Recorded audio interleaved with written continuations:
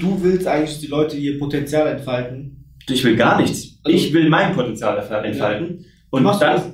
ich, indem ich jeden Tag mache. Ich mache einfach das, worauf ich Bock habe. Mhm.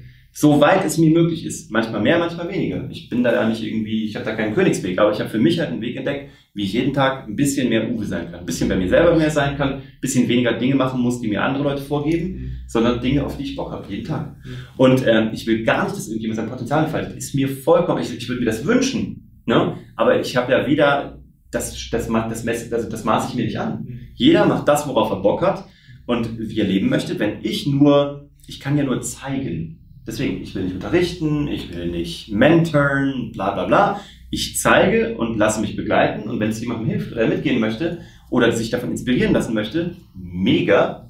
Aber ist auch nur mein Weg. Ne? Kann sein, dass es für jeden anderen da draußen der absolut falsch ist. Ja.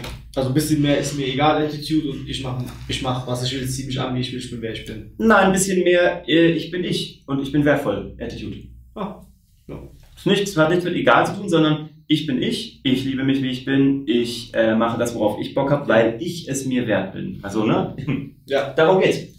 Ich habe nur 80 Jahre auf diesem Planeten. Vielleicht kommen wir alle wieder, vielleicht nicht. Stand heute, den ich kenne, ist, wir kommen nicht wieder. Also ich habe noch keinen Beweis gesehen für was anderes.